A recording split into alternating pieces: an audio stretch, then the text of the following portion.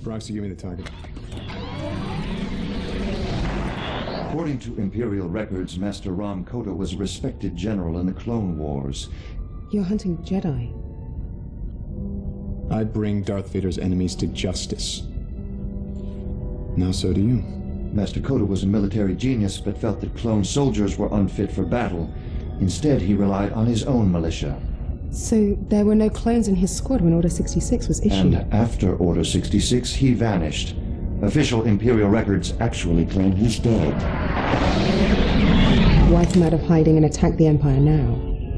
He wants to be found. Then we're walking into a trap. How many pilots have you lost before me? Seven. Excellent. Coordinates for Nar Shaddaa are locked. Prepare for light speed. Lock down the command center and get that hologram projector up and running. Yes, sir. Tell all squads to fan out and funnel any opposition towards us. Explosive charges on levels 2, 5, and 12, just like we planned. General Kota. He's here. I've finally drawn you out of hiding. Lower the containment field on Hangar 12 and tell the men to get into position. Yes, General.